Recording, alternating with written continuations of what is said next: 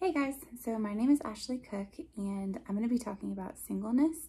Um, I um, am doing this for a Women's Time for SLP 2020. However, if you are married or if you're a guy, you're welcome to be watching this. There's nothing in this that maybe wouldn't be helpful or anything like that, so feel free. Um, I hope that you can um, be helped by this as well. Um, but this is going to be a little bit more geared toward women and specifically geared toward single women.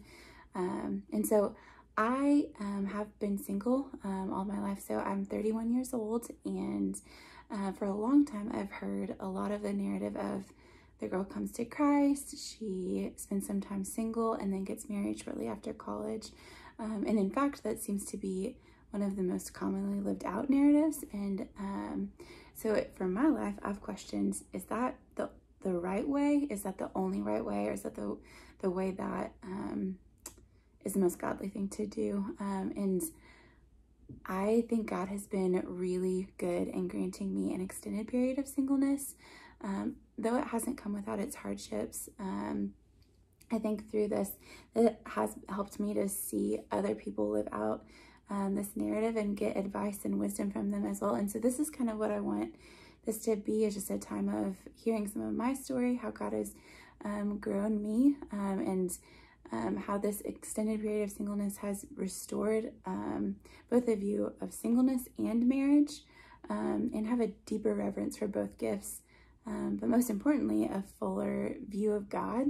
and so I just want to share my story and then kind of some helpful tips to live out your singleness effectively for God, um, to love Him and to serve Him. So, my story, kind of as it pertains to singleness, so I grew up in a church going home. Uh, we went to church every Sunday, and I knew every Bible story there was to know that was taught in Sunday school. Um, I also knew every Disney princess story there ever was to know. Um, so I grew up in the days of Disney princesses landing the handsome prince. So Snow White singing, Someday my prince will come, someday I'll find my love, was as real to me as Jesus raising the little girl from the dead. So I don't know if you'll be able to relate to this. I hope you don't have the Disney princess syndrome as deeply as I do. Um, but if you do, I want you to know you're not alone. Um, so even whenever I was in college, uh, whenever Tangled came out, I um, remember watching uh, Rapunzel come down um, the tower with her love interest and singing, That's when my life begins. And there's something in my DNA that deeply agreed. And I hope I'm not making myself sound crazy. Um, but I want to stress that I had a very skewed view of what I thought relationships were. And I really thought that that's what I needed to be happy in life. And so um, upon entering college, I started dating a guy, or sorry, um, sorry, I had really no idea what it meant to be a Christian. Um, and I started dating a guy that I thought was my handsome prince, and I was very wrong. Um, but God was sweet to even use that to help me um, understand that I was just in a desperate state without him. So I was putting all of my hope um, in someone that I thought was temporary, or someone, I was putting all my hope in someone, and that someone was temporary, um, instead of putting all of my hope in Jesus in a relationship with him which is, is eternal. Um, but whenever I started attending campus outreach uh, meetings, I think I came back even then um, because of how I saw the guys treating the girls. Um, however, it was also the first time that I really heard um, the bad news of the gospel, which sounds contradictory because um, it literally translates to good news, but um, I had heard that Jesus's death wasn't just um, something that he needed to do to make me a better person, but it was my, I was so sinful that Jesus' death was a requirement. Um, and I realized that he didn't come just to make me a better person, um, but he came, he came to completely wreck the old Ashley so that he could make a new Ashley. Um, so after I um, trusted in Jesus and um, started wanting to invest in a relationship with him and grow in my relationship with him. Um, so I attended two summer projects with Campus Outreach, um, one as a participant and one as a D group leader. Um, I invested in a few friendships that have enormously impacted who uh, or how I follow Jesus and who I am today. Um, I've shared the gospel with many women, um, even saw a few of them trust in Jesus while I was in college. Um, I went on many group dates um, and still um, enjoy those friendships that I built with the, my Christian brothers at, uh, while I was in college. Um, upon graduation, I committed to go to Thailand, um, where I was a teacher for two years, and I taught the children of missionaries there. Um, and I was able to do that freely because I wasn't dating anyone, and so I had to consider how that might impact another person. Um, and while I was in college and in Thailand, I was uh, discipled by four different women. Um, and then coming back from Thailand, I was still not dating anyone. Um, and I chose to come on staff with Campus Outreach Columbus, and I was free to move. I didn't have to consider um, where I might need to move to or anything like that.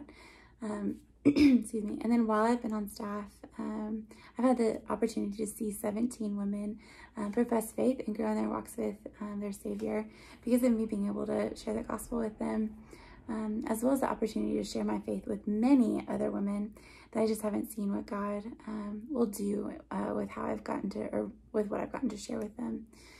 Um, so I want to be really clear. Over the past 10 years of my Christian life, I've displayed mild obedience coupled with kicking and screaming um, about being single. So God has just been gloriously faithful and patient with me. Um, he's been, uh, he's given me heroes to look up to, um, to show how God uses the goodness of singleness um, so one of those, I have three of those people that I want to share with you. One of them is Mary Slessor. Um, she's one of the first uh, women, I think actually she was one of, she was the first woman to go inland in Africa. Um, and she um, had a guy that was repairing a window in her home. I think it was a window, I'm almost positive, but I uh, was repairing something in her home and he wanted to pursue her, but that pursuit would have taken her away from that ministry away from that mission. And so she ended up declining his uh, pursuit because she wanted to be at her mission. She wanted to do what she was, uh, she wanted to be doing what she was doing um, to serve God, um, which is just heroic to me um, that she was so set on her mission.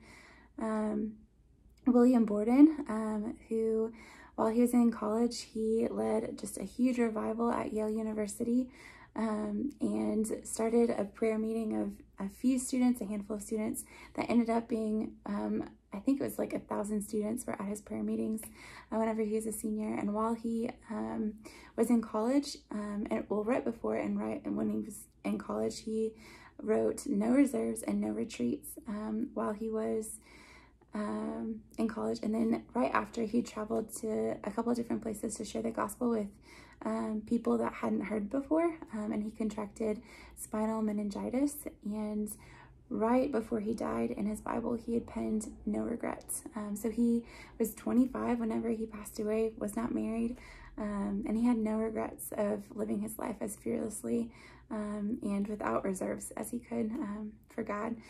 And then probably my favorite person in the whole wide world is Helen Roseveare. Um, if you ever get a chance, just even YouTube her um, interviews, some of her last interviews, and she is just a woman that just completely displays that she was passionately in love with Jesus. Um, but she, in one of her interviews, talks about how, um, compared to some women who were with her that were um, serving alongside her, she was a doctor. Um, so she would go into places where people had a lot of diseases, were very, very sick, um, and sometimes places that it could have been very dangerous could have contracted some diseases.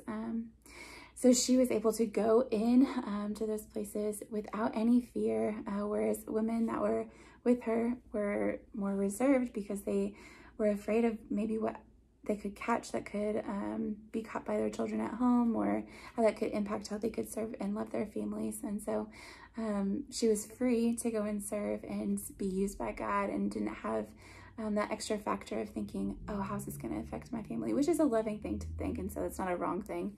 Um, but Helen was able to go and serve without fear.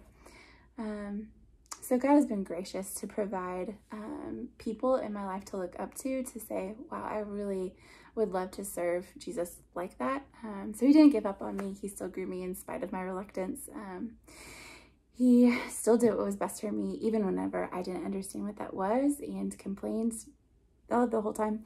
Um, and I can say with confidence, if I could go back and tell my 20 year old self one thing, it would be this.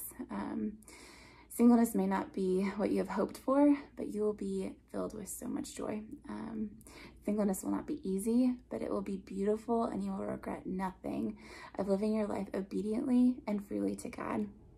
What you will regret are the years of being stubborn and the opportunities you missed because of not accepting this gift with gratitude. So I say all of that, not to brag or say, look at all that I've done, but just to introduce a new narrative. You will never be as free as you are to be used by God when you are single. Marriage is not, not, not, not the reward of singleness well done or purity well fought for. The reward of singleness and purity is getting to experience more of Jesus. So, whenever I talk about fear, or sorry, whenever I talk about singleness, it usually comes out of a place of fear. I have a fear that God won't provide. I have a fear that all meaningful community will slowly yet surely leave me as more and more of my friends get married and I enter into stages of life and they enter into stages of life that I simply can't relate to. Um, I have a fear that as long as I'm single, others will look at me and see this giant stamp across my forehead that reads unlovable. I have a fear that the gift of marriage hasn't been given to me because God would have to allow someone else into this mess and he just cannot simply do that to someone else. Um, and I might laugh, you might laugh. But these are all legitimate thoughts that have crossed my mind and maybe they have crossed yours too. Um, and I want to say that's not you're not crazy for having those thoughts. Um, but when the Apostle Paul talks about singleness, it is not out of fear. And in fact, it could not be further from his thought. Um, so he says in 1 Corinthians 7 7 through 8, I wish all of you were as I am, single. But each of you has your own gift from God. One has this gift and one has that, uh, meaning marriage or singleness. Um, now to the unmarried and to the widows, I say, it is good for them to stay unmarried as I do. So Paul, who is single, calls it a gift, not a consequence or a curse, a gift. Even a gift that can be better than marriage for some. So what kind of gift would this be? So I have a super fun, quirky aunt who gives me presents every year on my birthday. And at a minimum, they could be described as interesting. Um, so most recently for my birthday, oops, most recently for my birthday, she got me this spray painted dinosaur. I'm to show you guys. this guy right here. So I don't know if you can maybe tell from my aesthetic, maybe just wouldn't go, but she has got me this spray painted um, toy dinosaur with a succulent glued to its back. Um, and I just, I don't really know where it's going to go in my room. I, it's not really the aesthetic that I was going for though it's really, really fun. And I really, um, my aunt is so thoughtful and uh, always gets me things that are very fun. Um, and my sister and I have um, some birthdays that are close together. And she got, um, this is actually hers. I cannot find mine. Go figure. But um, so whenever I asked my sister what she was going to do with it, she said, I'm going to put it on a shelf in my entertainment entertainment um, center. And my response was, I don't really have a place where I think it would go. And she responded, Ashley, it either goes with everything, it goes with nothing. And I think this might be a little bit of how we've approached um, singleness. There's fireworks outside. I don't know if you guys can hear that, but um, it either goes with everything or it goes with nothing. Um, so we think if we open the gift of singleness, that means that we have to completely say no to marriage. And some of us, myself included, um, have a certain aesthetic that we thought our lives would have. And this dinosaur gift of singleness has just left us a little confused as to how to decorate. um, so many of us has approached this gift with, of singleness with our arms crossed, saying it goes with nothing, and so we refuse to use it. God is sovereign, good, and wise. If these are true about God, which they are, then there must be a purpose to each individual's life, including those that are single. So God knows your dreams. He allowed you to dream them. He um, knows your gifting. He knit you together. And He knows your stage of life. He planned it before time began. So my question is, how do you maximize this gift? Instead of just sitting there with your arms crossing, I'm not going to use it. Um, how do you treat this gift that God has given you with reverence and carefulness? And how do you not waste it? So I'm operating off this quote that I heard whenever I was in college that goes master, mission, mate. Um, and so I want to spend some time talking about um, how to know your master deeply. I want to know, I want to spend some time talking about how to invest in your mission well. And then I want to talk about and maybe change the quote a little bit and say, maybe mate. Um, so we don't know, it's not promised, um, but maybe mate. so, um, so first off, in the master section, commit to know God deeply. Um, so whenever Mary and Martha, we probably have all heard that story. But Mary was sitting at the feet of Jesus and Martha was busy doing a lot of other things. I think it was like cooking food and doing some other stuff. But Mary chose to sit at Jesus' feet and Jesus said that this portion would not be taken away from Mary. Um, so this might sound super cheesy, but have you fallen deeply in love with Jesus? Before you enter into a relationship with a, a sinner, um, have you secured the right relationship with Jesus? So Zephaniah 3.17 um, says, The Lord your God is in your midst, a mighty one who can save. He will rejoice over you with gladness. He will quiet you by his love. He will exult over you with loud singing. I think of Buddy the Elf whenever he's in the department store and he sings loudly, I'm in the store and I'm singing. Um, so whenever I hear this quote, that's what I think of. And I can't help but think of if I heard someone in public doing that, my eyes would immediately go directly toward them. Um, I would be distracted because of how funny that might be or how silly that might sound. Um, but I don't know if you think about this that um, or like the other buddy, the elf quote that says, um, I'm in love and I'm, I'm in love and I don't care who knows it. If someone was sitting right next to you shouting that, people would be distracted by how much you are loved. Um, and so God in this uh, verse says, I will um, exult over you with loud singing. So that is the kind of love that God loves you with, is the Buddy the Elf, distracting, um, goofy, lovely kind of love. Um, so sink deeply into that love, into God's love. Um, and then right now, as a single person, you are undivided and undistracted um, in a pursuit of God. So in 1 Corinthians 7, 5, 735, um, chapter 7, verse 35, um, says, or Paul says, or it continues in singleness, he says, I'm saying this for your own good, not to restrict you, but that you might live in a right way in undivided devotion to the Lord. So Paul isn't saying don't get married, you're not allowed to get married. He's not saying this to add restrictions to you, but to cultivate the best situation for you to know God and be free to serve Him. Um, the second to know your master well is to pray. Um, so Elisabeth Elliot has a quote in her book, The Path of Loneliness, that says, turn your loneliness into solitude and your solitude into prayer. So I just want to lay it out there will, of course, be times in singleness where you will be lonely and it'll be hard.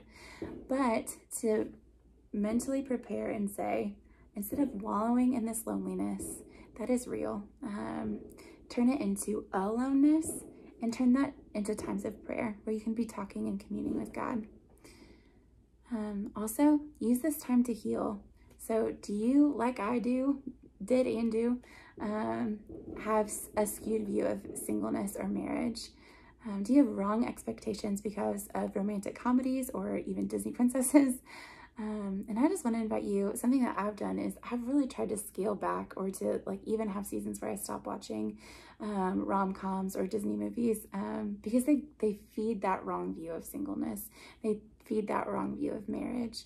Um, and so I don't know if it needs to be an absolute conviction that you have, but it has definitely been helpful for me um, to not have a wrong view of what a relationship really looks like.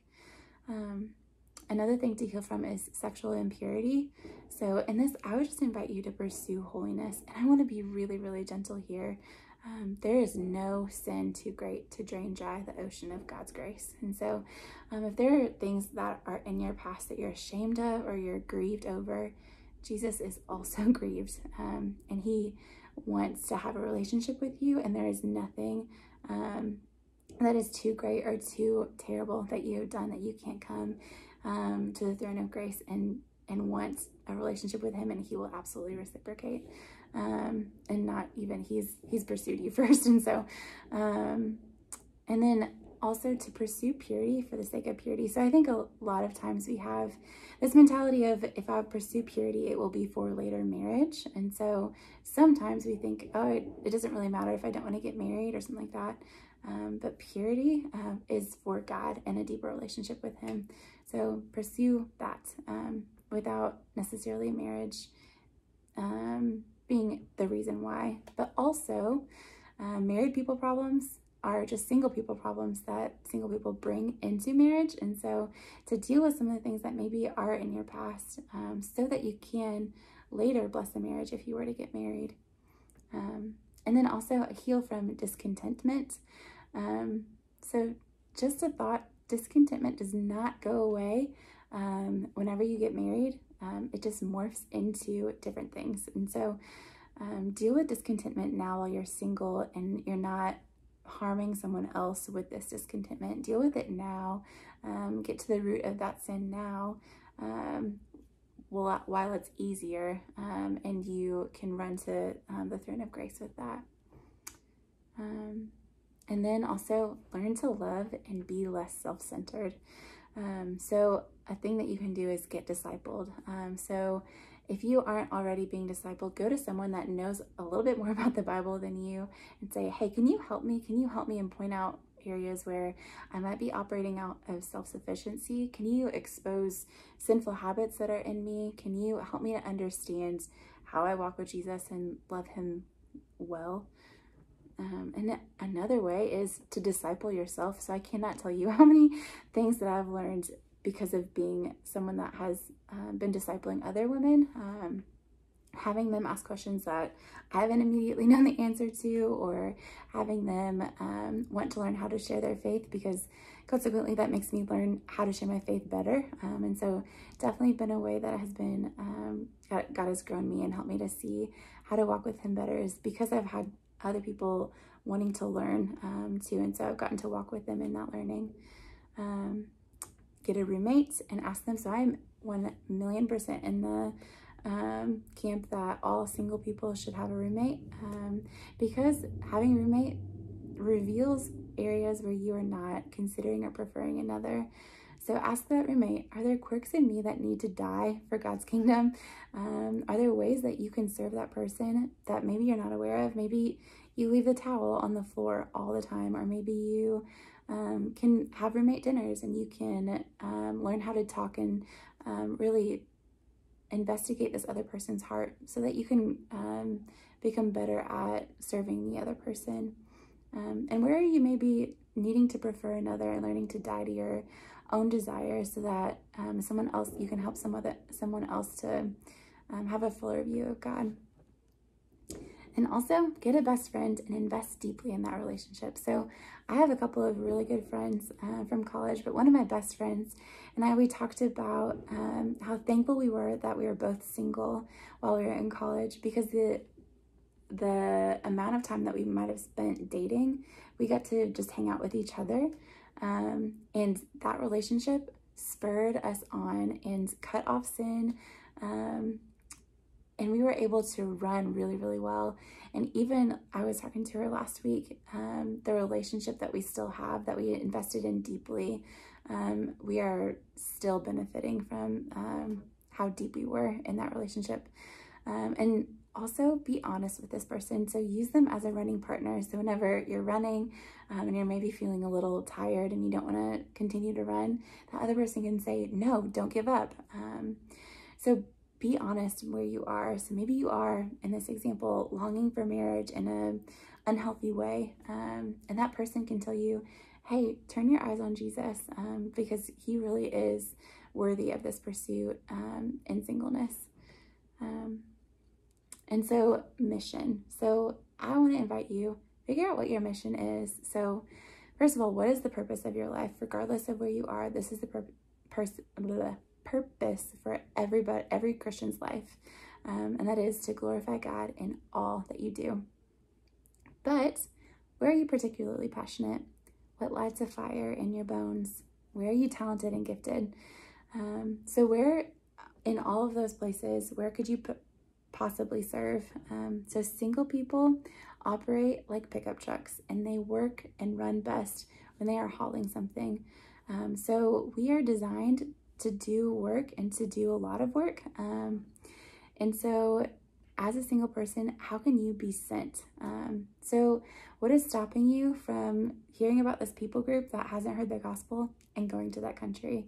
Um, what is stopping you from getting a call at 1 a.m. Um, from the girls or guys dorm and this person has called you uh, with this problem? Maybe they're crying, maybe they broke up with their boyfriend, girlfriend. What is stopping you from going, going to that dorm? Nothing. Um, you can freely go. You don't have someone that you have to ask or people that you have to care for or a two year old that you shouldn't leave alone. Um, and I just want to say if I ever have physical children of my own, I have been trained to love them better because of the spiritual children that I have now. And so um, I have learned how to care for them well at 1 a.m. whenever they call me crying.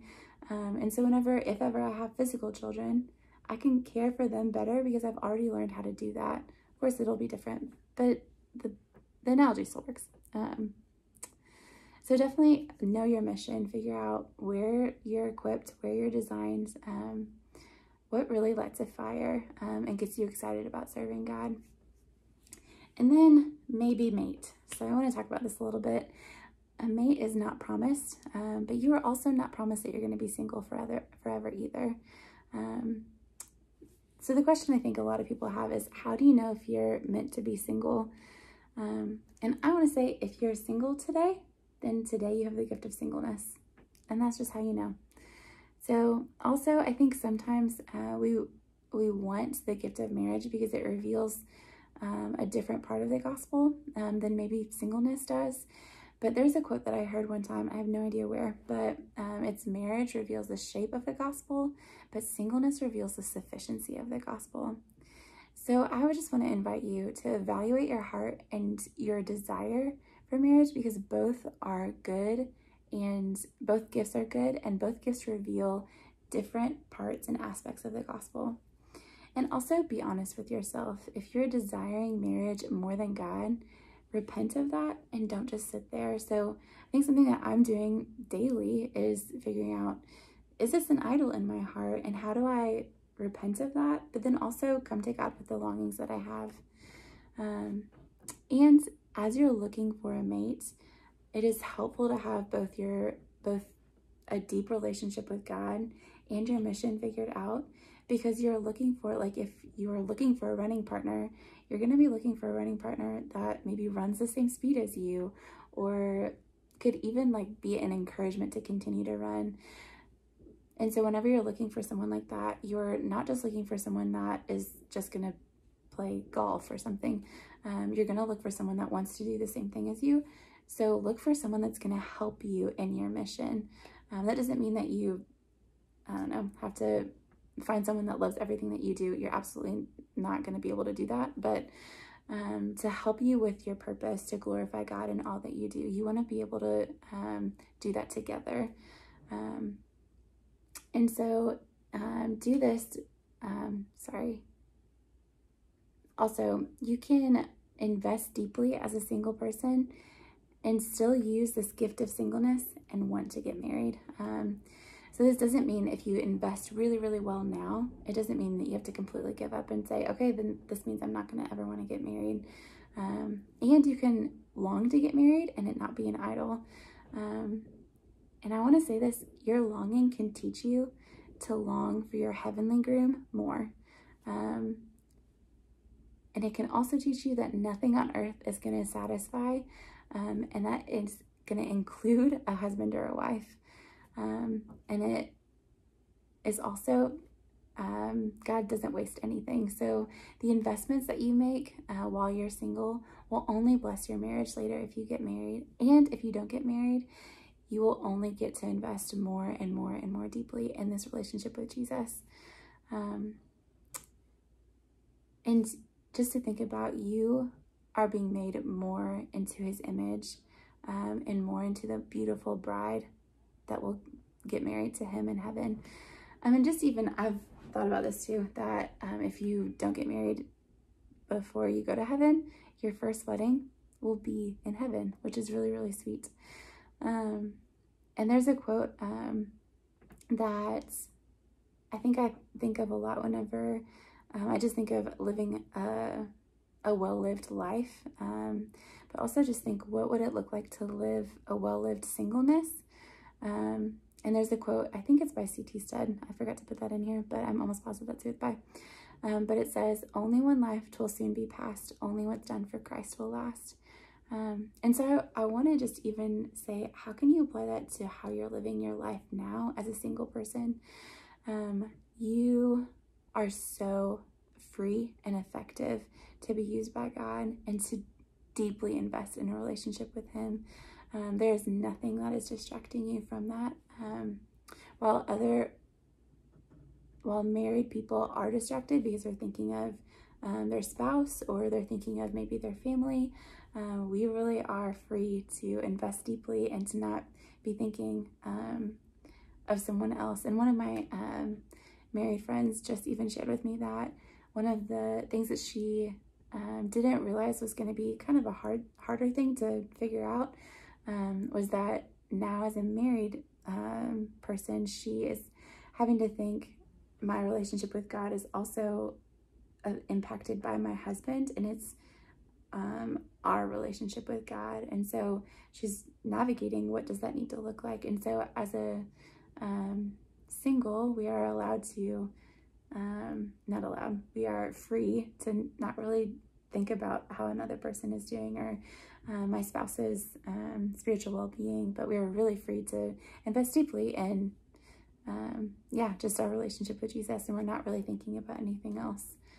Um, and so, yeah, I would even um, invite you to have that quote or the quote of uh, William Borden that um, no reserves, no retreats, no regrets. So, how could those words shape how you live your singleness um, deeply and investing well and living freely and um, purposefully um, as a single?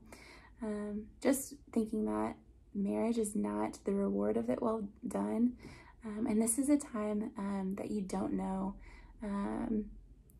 how long you're going to have. And so, like, I just said this quote, but only one life will, will soon be past, only what's done for Christ will last. And so um, I even just have a personal thought of like, you don't know whenever your singleness will be over. So it could be another year or it could be another 60 years. Um, but we want to say, how can I live my life that I'm not just waiting like Rapunzel was to leave the tower and say, this is when my life begins.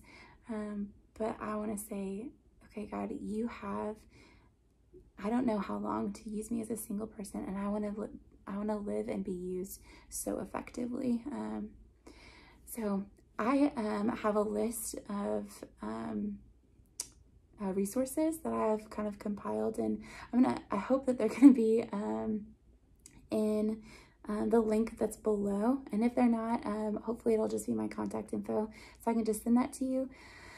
And if you have any questions, I would much prefer to have this kind of conversation over a cup of coffee or, um, yeah, just talking about this more deeply. So if you have any thing that you're like, Ashley, I really have no idea what you're talking about. I don't know how to do this well. Um, I've struggled with this for a long time. And even now I can tell you this is coming out of a place where I've just been struggling with um, singleness a lot. And so it is a good thing. Um, to be running to um, your Savior with. Um, but also, if you need to talk about things, if you're like, I really have no idea what's going on and I want to do this rightly and well, um, I would love to be having more conversations with you. So um, please don't don't hesitate to um, reach out um, to me or any other staff member that might be someone that you're more connected with. Uh, we would love to have conversations with you. All right, I love you, and I will see you uh, soon. Bye.